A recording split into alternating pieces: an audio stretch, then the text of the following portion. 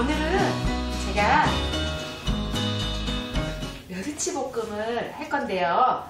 아, 앞전에 올려놓은 거는 고추장 멸치 볶음이었고 오늘은 제가 얼큰한 고추를 넣어서 매콤한 멸치 볶음을 해볼까 해요. 지금부터 제가 한날의 멸치 볶음을 해볼게요. 우선 어, 요 홍고추 하나, 청양고추 두 개를 제가 썰어 볼게요. 고추는 이렇게 반으로 자르시고 고추씨는 이렇게 깔끔하게 고추씨 없이 이렇게 정리해서 요 고추를 쫑쫑쫑쫑 쓸 거예요. 애드리기면 쫑쫑쫑쫑 쓰세요. 너무 크게 쓸지 마시고요.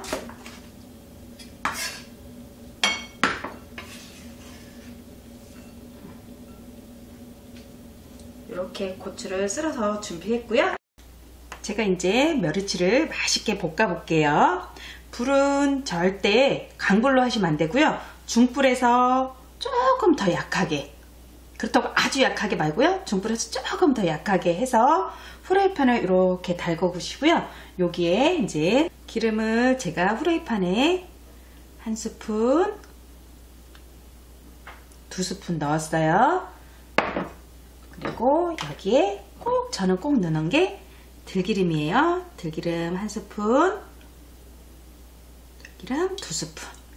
이렇게 해서 참 기름과 들기름이 같이 혼합이 되게 이렇게 살살살살 섞어주시고요. 여기에 마늘 반 스푼 이렇게 넣어서 마늘 기름이 되게 살살살살 볶아주세요. 요 불이 제일 중요한 게 중불보다 더 강해지면 요 마늘 기름이 안 되고 요 마늘이 홀라당 타버려요. 그래서 불은 정말 중요한 거예요. 그래서 중불보다 좀 약하게 해서 이렇게 기름이 음, 마늘 기름이 나게 이렇게 볶아주세요. 약하게 하셔야 돼요. 인덕션보다 멸치 100g 조금 넘어요. 요거를 프라이팬에 넣을게요. 프라이팬에 멸치를 넣은 상태에서 불은 그대로 유지한 상태에서 요 마늘 기름이 멸치에 옷이 잘 입혀지게 윤기가 흐르게 살살살살 볶아주세요. 조금 많이 볶는 거예요. 불이 약하기 때문에 이렇게 볶다 보면 멸치가 촉촉한 게 아니라 바삭바삭해져요. 약간 아, 그렇다고 아주 뭐 딱딱해지는 게 아니라 촉촉하면서 약간 겉이 바삭바삭 그렇게 만들어져요. 그래서 이렇게 살살살살 짝깐 멸치, 쬐깐한 멸치 다루듯 쬐깐하니까 조심조심 이렇게 볶다가 정도 드셔보세요. 그래서 멸치가 약간 바삭한 맛이 있는지 그렇다고 아주 바삭하면 절대 안 돼요. 간장을 제가 반 스푼만 넣을 거예요.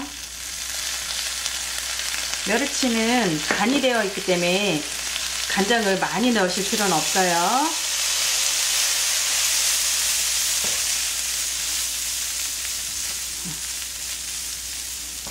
하고 여기에 이제 잘 간장이 잘 섞어지면 여기에 넣는 건 아까 썰어놓은 홍고추, 청고추 여기다 넣어요.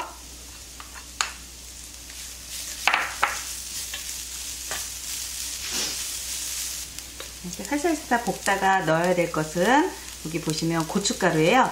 반보다 조금 많아요. 요거를 이렇게 살살살살 부려주세요.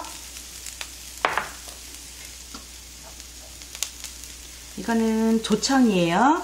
조청을 제가 넣어볼게요. 수저로 한 스푼 조청은 이렇게 한 스푼 뜨는 게 조금 양이 한 스푼보다 좀 많아요. 그래서 요거는 이렇게 두 스푼 정도 넣어주세요. 이런 거 조금 남으면 이것도 아까우니까 쓸어서 여기다 넣을게요.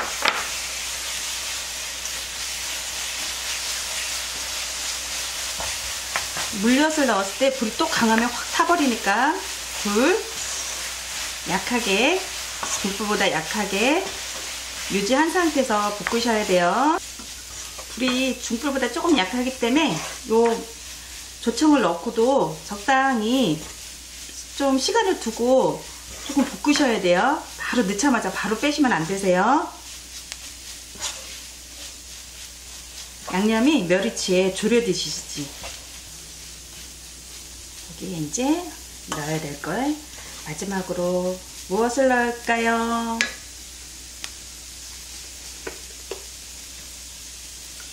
참깨예요.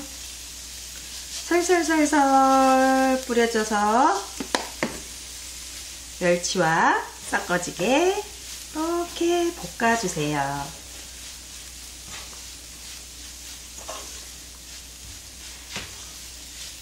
맛있게 보이시나요?